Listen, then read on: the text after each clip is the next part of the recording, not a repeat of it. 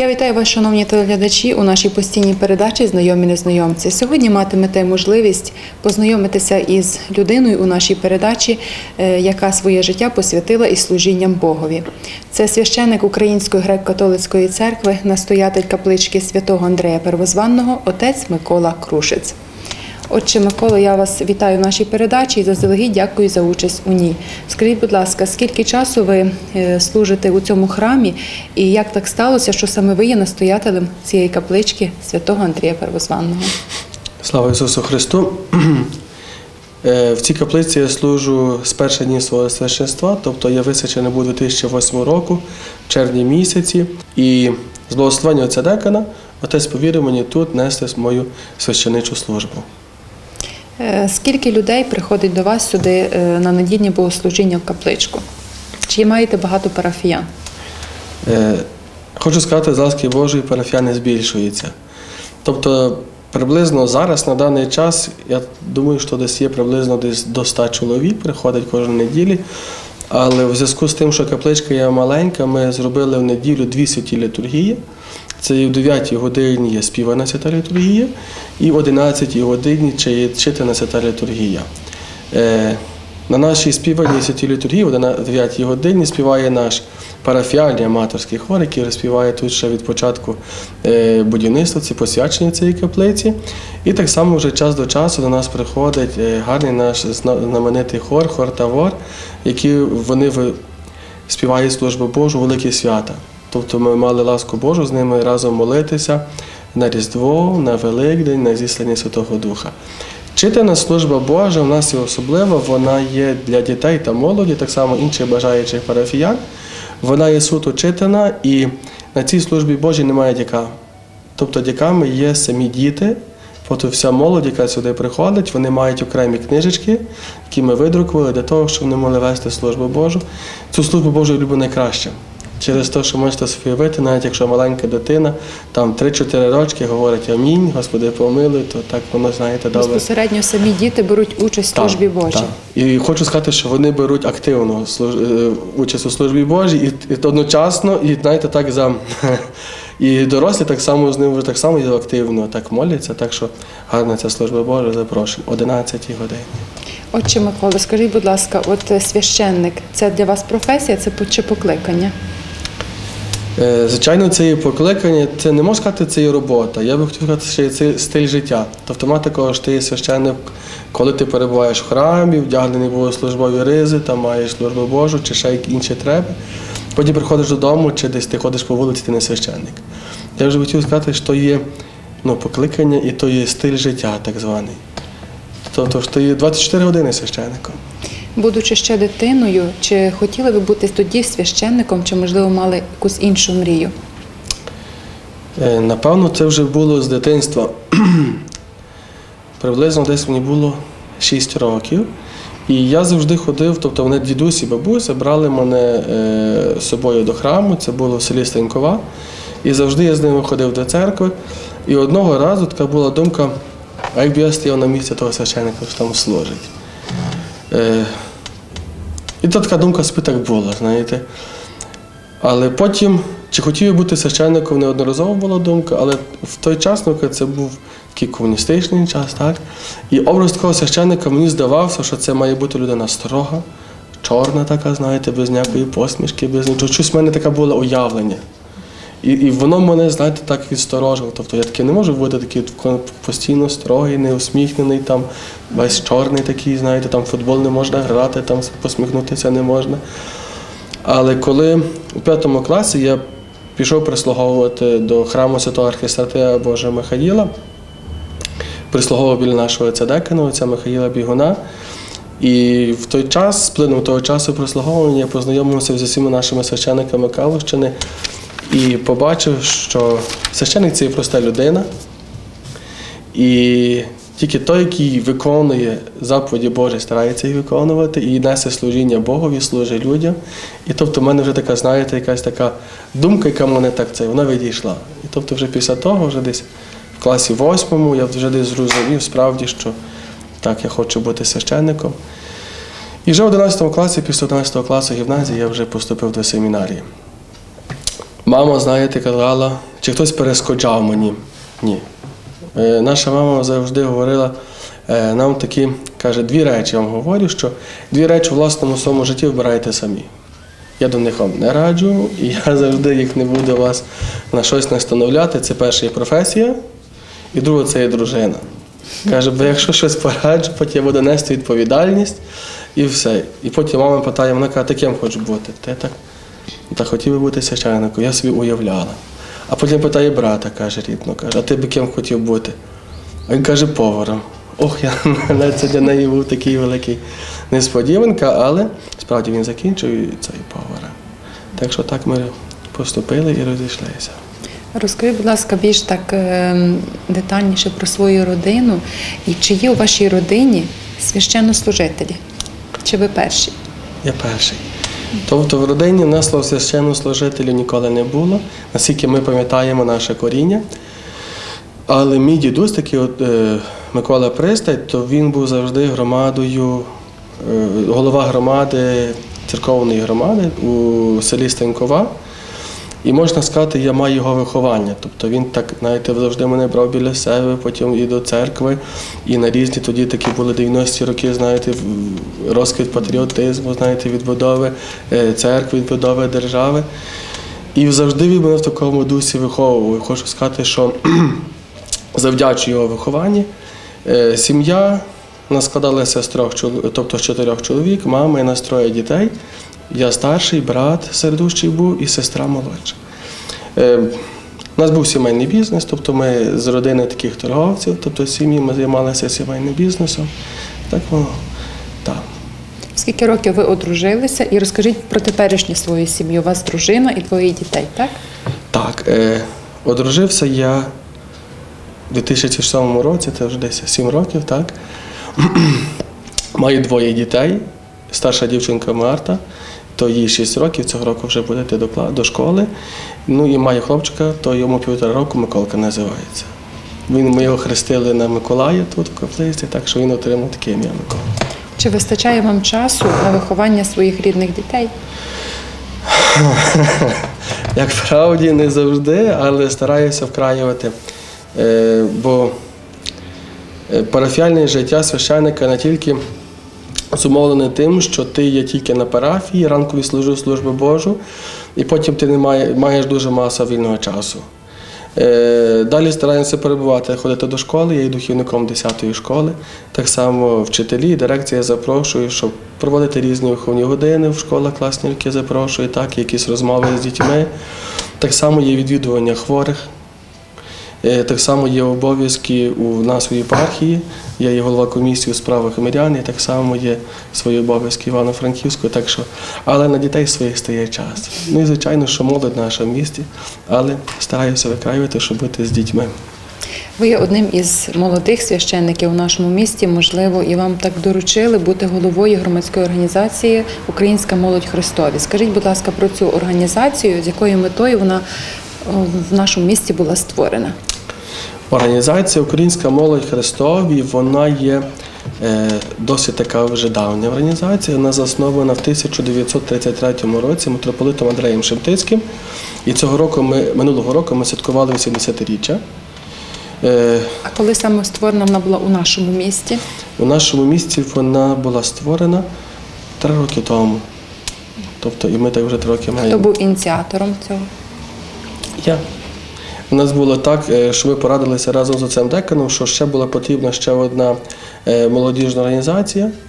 І порадившись з оцем деканом, ми вирішили, що справді добре відтворити цей осередок Українська молодь Христові. Е, Вона мала велику поле діяльності до 1946 року, коли церква наша пішла в підпілля. В зв'язку з підпіллям вона призупинила свою діяльність, залишилися тільки осередки в діаспорі. І з 90-х років е, осередки почали відновлюватися по наших українських парафіях вже тут на Україні. І ми вирішили так, що добре цей осередок е, заснувати нас у місті Калуші. Було на основі наших волонтерів, і ми так вже створили. І дякувати Богу, працюємо з молоддю. Е, На якому етапі розвитку ця ваша організація? Скільки дітей ходить до цієї організації і чим зараз вони займаються? Я знаю, що вони ви багато з ними подорожуєте і їздите по різних святих місцях, чи не так? Так. Е, щоб сказати кількість членів, не можу сказати. Тобто десь більше Одні, 50. напевне, приходять, Одні другі приходять, відходять. другі відходять. Е, щоб так сказати, це десь близько 50 чоловік. Як правило, на зібрання приходить десь 30-40 чоловік. Е, ми маємо два дні зустрічі з молоддю, це і субота-неділя.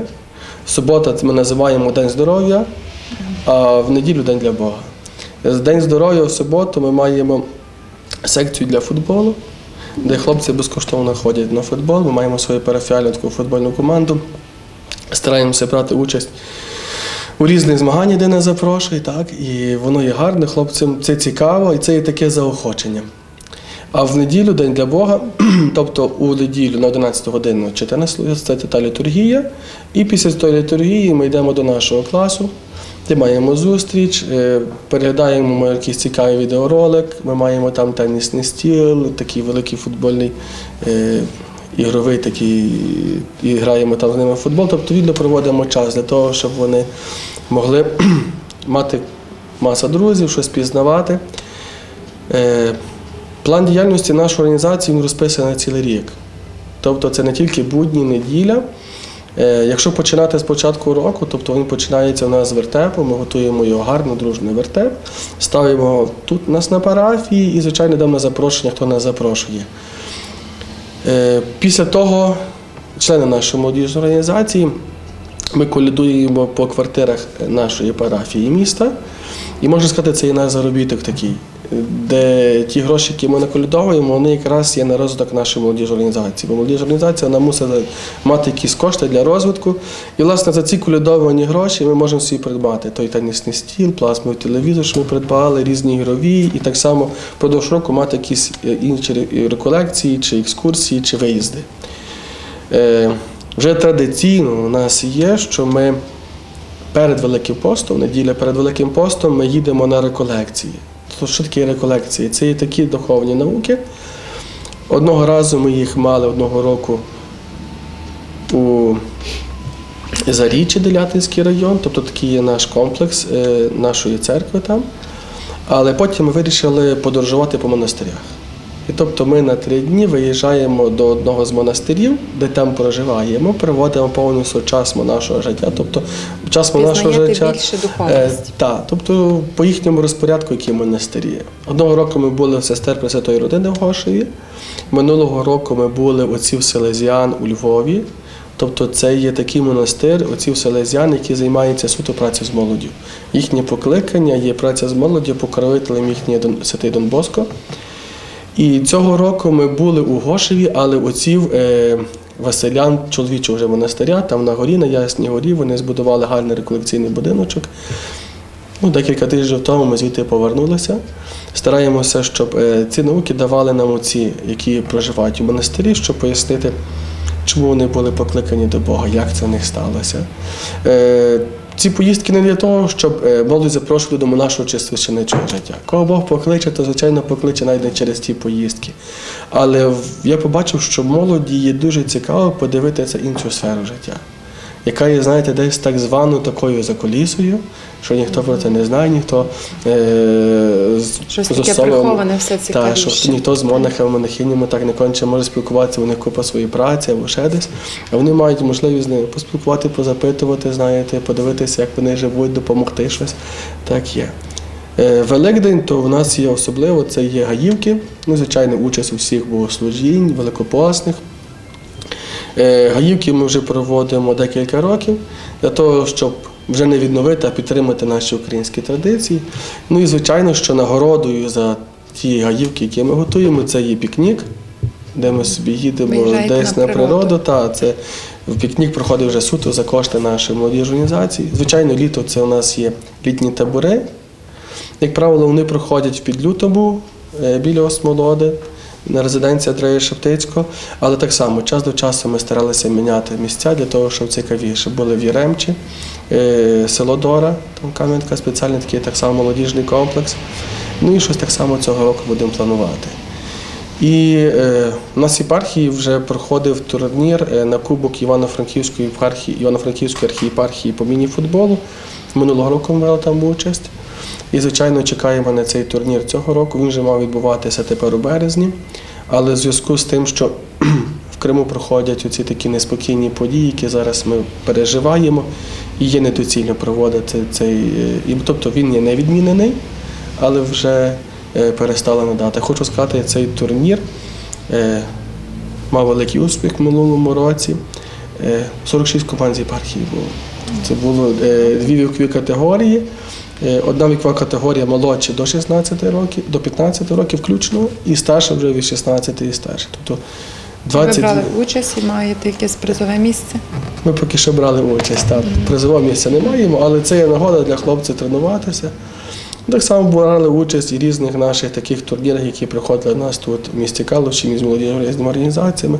До того часу ми самі проводили тут е, турніри на деканальному рівні, де запрошували різні команди нашого Калуського деканату, так само і з єпархії. Крім вас, ще організації е, хто- ще вчить дітей е, тому чи іншому виду спорту, хто ще з ними займається? Е, Хочу сказати, дякувати Богу, що є багато на волонтерів. Це вже і наші вихованці. Почав я займатися молоддю з 2005 року, лише коли закінчив семінарію. Отець Декан благословив для того, щоб я розпочинав працю з молоддю. І моя праця з молоддю починалася в церкві Святого Михаїла. Це була організація співкатолицької молоді. Досить було вихованців, і так само е, декілька з них це вже є троє, які зараз навчаються в семінарії. І це є Мар'ян Ворочок, Ігор Ліберцбах і Володимир Юрк. І вони мені допомагають конкретно у праці з молоддю, бо часу не вистачає, бо вже додавалася парафіальна справа, то служіння на парафії. То вони займаються і недільною школою, допомагають мені організації. У нас на парафії є недільна школа і Українська молодь Христові. Е, Недільна школа е, вона є для дітей з першого класу по четвертий. Дитина, коли вже пішла в п'ятий клас, вона вже автоматично переходить в ряди е, молодіжної організації. Так. Сама молодіжна організація вона так само має такі, можна сказати, дві вікові категорії. З 5 по 8 клас, тобто це є така собі молодша група, а тобто це є члени, а потім вже старші, то вже є волонтери, які допомагають суто це. Чи є серед ваших вихованців, які беруть е, з вас приклад, для них є ви наставником і ну, наслідником, наставником маю на увазі, що вони хочуть теж бути священником, так як ви. Е, Я не знаю, але думаю, що так. Думаєте, що так? Думаю, що Чи так. підходили до вас от з таким питанням, щось, що їм цікаво, як ви стали священником? Якась така розмова між вами була і дітьми. Та вона є завжди постійно. Тобто розмова така відкрита, вона завжди є постійно. Не можна так сказати, що вони не розмовляють. У нас навіть така є скринька, запитає священника, де вони завжди навіть є такі. Таємно. е, Та, тобто чого? Деколи хтось може запитати офіційно, А дехто а є такі, наприклад, запитання, які морду, мордують у молоду людину.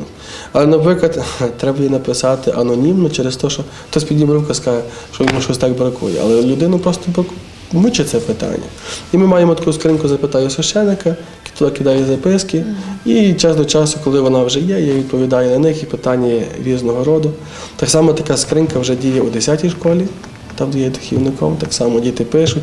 Різні цікаві запитання. Найбільше справді, коли перший раз приходиш, то от, власне, чому ти став священником, яке твоє життя священиче, як воно є, бо їх цікавить. Вони думають, що священник це щось таке окрема людина, яка живе зовсім іншим життям. Напевно, для дітей так. А от е, ви багато спілкуєтеся із молодими людьми. От на вашу думку, які проблеми найбільше побутують зараз серед молодих людей підростаючого покоління? Що найбільше зараз їх Ну, турбує? так, щоб якоїсь такої глобальної потреби не можу так визначити, знаєте. Е, Найбільше, напевно, що це і проблема зайнятості, де вони мають себе зайняти, що вони мають робити. Бо особливо молодь це вони вже фізично дозріли, вони себе всі вважають, тобто всі дорослі, правда. Але знаємо, що е, формується у них якраз психологія. Фактично так і психологи кажуть, що до 23 до 25 років якраз формується е, ставлення людини до навколишнього світу, знаєте, їхні принципи, тобто розкладає все. І людина себе знаходить. І це якраз е, себе шукання. Трошки молодші, то звичайно час до часу, то коли є той переросний період, знаєте, коли вже і не дитина, і не дорослий, такий перехідний період. Кожен знаємо, що він є важкий для людини. Але е, проходить все нормально. Три роки тому в капличці святого Андрея Первозванного була створена молитовна організація Матері молитви, яка діє по всій Україні. Щовівторка калузькі матері моляться за дітей та їхнє здоров'я. Також при капличці є своя газета, часопис парафії святого Андрія Первозванного Української греко-католицької церкви Парафіяльний вісник, який виходить раз у місяць завдяки спонсору Андрія Драня. Постійними доброчинцями, за словами отця Миколи Крушиця, є Йосип Андрухів, Роман Безрукий. Завдяки останньому Калузький осередок молодіжної організації Українська молодь Христові має можливість безкоштовно збиратися в орендованому залі, обладнаному різним спортивним спорядженням.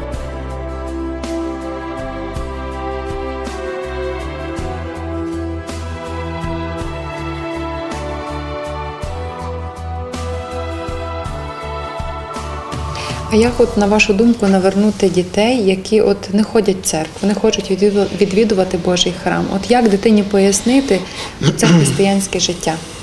І чи звертаються до вас з таким питанням от батьки дітей? Батьки, звичайно, що звертаються, приходять, але не приходять разом з дітьми. Тобто, е, чи легко жити е, християнським життям дуже. Тобто це не є щось така якась обуза, чи це якийсь такий мішок правил, знаєте, яких треба дотримуватися. Якщо ні, то все життя пішло крах і все решта. Нема такого. Але для того, щоб е, навчитися християнству, тобто жити згідно, тобто з Богом жити, треба почати з ним жити. Тобто, так, знаєте, е, так до одного старшого монаха підійшов молодий юнак і каже: скажіть, будь ласка, як то я маю навчити молитися? Він каже, то треба почати молитися. Так як той, хто хоче навчитися плавати, він не навчиться теоретично. Він може територію треба скакнути в воду і тоді вже вчитися плавати. Так само і життя з Богом. Тобто треба почати. Тобто найперше, що треба, прийти до, до церкви, або почати, наприклад, і, і почати молитися в церкві, і так само почати це життя з Богом у себе в сім'ї. Для того, щоб рекомендація для батьків проста, щоб батьки були прикладом для своїх дітей. І тоді, знаєте, діти вони як губка. Вони в себе впитують і добре, і погане.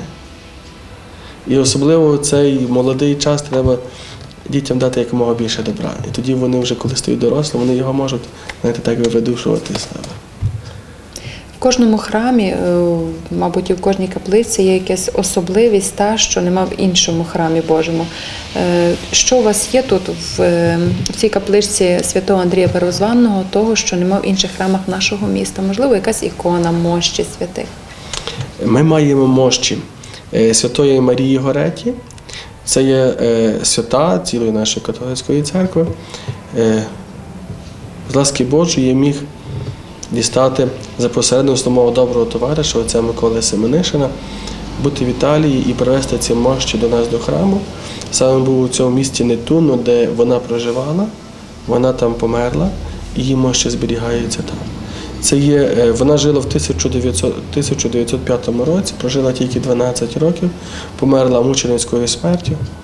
Е, Я думаю, що концентруватися на її життя, тобто можна написати в Гуглі нормально Свята Марія Гореті, і є повністю це. Але ми тішимося, що Господь так розпорядив, що маємо мощі цієї святої, можемо до неї молитися. Вона є покровителька дітей, покровителька молоді. Так що просимо її ласки для заступництва наших молодих людей і дітей. Перше, як ми е, з вами розмовляли, ви говорили, що у вас на парафії весь збільшується парафіян. І е, сказали, що, мабуть, будете е, із каплички добудовувати, робити храм, чи не так? І коли плануєте ви зводити більший храм? Так, є такі плани, оскільки потрібно нам більше приміщень для того, щоб могти молитися. І, звичайно, ми вже є на першому кроці для того, щоб будувати тут храм. Тобто це не це буде добудова до цієї каплиці. Тобто ця каплиця, в якій ми зараз знаходимося, в майбутньому вона має бути вівтарем. Тут, де буде стояти святий престіл, де буде служити священик, а храм вірних повністю будемо добудовувати. Е, Проект, який зараз готується, готується нашим архітектором міста Калуша, паном Петром Построльоним. Я думаю, що він зараз щось підготує таке оригінальне, гарне, оскільки він є архітектором цієї каплиці. Е, і проєктантом, і так само гідні проєктантом цієї каплички дзвіниці, яку ми маємо у нас на території нашої каплиці, Святого Антонія Падевського. І тоді вже спочатку документальна робота, вже коли вже документи всі дозволаємо, позбираємо, тоді вже почнемо будівництво. Хто є е, постійними меценатами, спонсорами вашими, допомагають вам у відновленні, е, постійно оновлювати інвентар церковний? Нашими такими доброчинцями хотів сказати, що це є всі парафіяни. Тобто, добре, що нас так є. Ми, тобто ми називаємо тільки так парафія, знаєте, ми називаємо, що це є парафіальна родина. І справді ми живемо так собі з такою парафіальною родиною і бачимо, що коли є потреба, тоді е, доброчинські такі внески вони збільшуються. Особливо ми побачили, що коли у нас постало питання, оскільки тут на кутику нашого трикутника, коли стояла справді історичний храм, це була капличка подорожня Святого Антонія Падевського. Вона була збудована в 1650-х роках на честь вигнання татарського іга з наших каловських земель.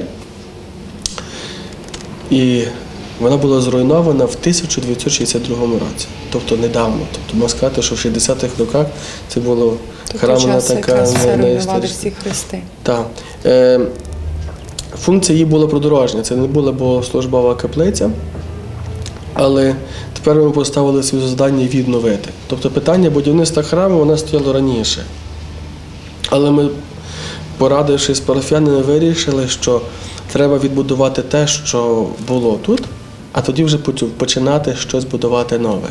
Через то постала капличка Святого Антонія Падевського. Е, Оскільки вона була придорожня, через те ми у ніші каплиці поставили статую Святого Антонія Падевського, яка колись вона стояла у храмі, просто тепер вже ми зробили новою, більшою, е, завдяки нашому славнозвісному скульптору, пану Ігору Симаку. Він це таку зробив офірну роботу, тобто безкоштовно нам подарував свій такий витвір для того, щоб люди могли молитися. Звичайно, що питання стояло, знаєте як, е, мати дві каплиці на одній території, то воно є забагато. Але потреба була у дзвіниці, і то ми зробили такий, порадившись з паном Петром, що краще зробити каплицю дзвіницю. Тобто маємо там дзвіницю. І через отця Миколи Семенишина ми мали дарунок від такого гарного нашого доброго товариша, священника з Італії Дона Вальтера Бонетто. Він особисто нам подарував цей дзвін, який зараз нас кликає на богослужіння. Дзвін цей був вилитий у місті Генуї в Італії. Тобто навіть ця дзвонарня обслуговує Ватикан, тобто маємо таку, то наша цей дзвін так само є гордість нашої парафії, такий дарунок. І от ми так вже на основі того вже зробили такий, можна сказати, архітектурний комплекс. Ну і на завершення нашої передачі, можливо, ваші побажання, можливо, якісь е, в часі Великого посту, можливо, якесь звернення до ваш, до наших і до ваших парафіян, і до усіх телеглядачів. Хочу сказати, що час святого посту це не час якоїсь обузи або якогось обмеження, правда, або якоїсь дієти. Це так, так, якось так і є, правда. Хочу сказати, що час, духов... е, час Великого посту це є, можна назвати, це є духовна школа, Е, де під час прожиття року цілого, особливо в часі Великого посту, можемо в особливіший спосіб звернути увагу на свою душу і в особливіший спосіб е, звернути увагу на свої стосунки з Богом. Тобто, які вони є. Ми переглядаємо завжди стосунки своєю сім'єю, з родиною, з дітьми, на місці праці, з робітник, тобто в колективі, правда? Час Великого посту, тобто, які мої стосунки з Богом є, якими Бог на мене очима дивиться, чи я подоблююся у цій сфері життя, чи тоді. І тобто це є перегляд свого такого духовного життя і тих справді стосунків тісних з Богом. І у Великому пості ми стараємося якомога ближче зближитися з Богом. Тобто стати друзями з ним. А тобто, щоб бути найкращим другом з Богом, я думаю, що кожен бажає бути найкращим другом з Богом, правда? То це є три речі: розмовляти, бачитися і пізнавати. Розмовляємо тоді, коли ми молимося, ранку, вечором в себе вдома чи в храмі, коли приходимо. Бачимося тільки в храмі. А особливо бачимося тільки тоді, коли приймаємо Ісуса Христа в найсвятішій тайні Євхаристії. Ну і пізнаємо тоді, коли вже щось трошки цікавимося. Тобто, з ким я хочу товаришувати, я маю якомога краще пізнати. І для цього у нас є найкраще, тобто таке джерело це є святе письмо. Але одночасно і є різні е, духовні літератури, яка є тепер добра є, і добра література. І, звичайно, що розвиваємося в інтернеті, є дуже багато цікавих е, наших церковних сайтів в інтернеті, де можна пізнати Бога. Ну, і, звичайно, і тепер є багато духовних фільмів. Через те ми на нашій парафії заснували бібліотеку. Вона не є величка, але ми її, тобто фонд нашої бібліотеки завжди розростається. Е, Час до часу ми купляємо за парафіальні гроші, але хочу сказати, що тепер в останній час е, фонд нашої бібліотеки зростає через благодійність наших парафіян. Той, хто прочитав книжку, він приходить, приносить сюди. І парафіяни можуть брати її читати. Так само є відеотека, де ми маємо ряд різних фільмів, де можна через життя святих, які зображені в фільмі, чи якихось чи різних цікавих історій, ми можемо щось трошки більше пізнавати Бога. Так що бажаю усім провести гарно цей час Великого посту у справді тісному стосунку з Богом. І, звичайно, добре постати, щоб справді дочекатися до того великого світлого свята Христового Воскресіння. Щиро дякую так само за запрошення цю програму. Для мене була справді така несподіванка. Ну і звичайно, що користуюся нагодою. Хочу запросити наших молодих людей до нашої молодіжної організації для того, щоб ми могли разом спільно знаходити більше знайомих, товаришувати, робити справді добрі справи, які будуть подобатися Богові, нашій державі Україні, нашим жителям міста Калуша. Отче Микола, я вам дякую за таку розмову душевну. Е, Надіюся, що не тільки мені, але й нашим глядачам було приємно вас слухати. Бажаю вам і вашій родині міцного здоров'я, Божого благословення, всіляких гараздів. А нашим телеглядачам я дякую за увагу. Тож на все добре і до зустрічі в наступній передачі.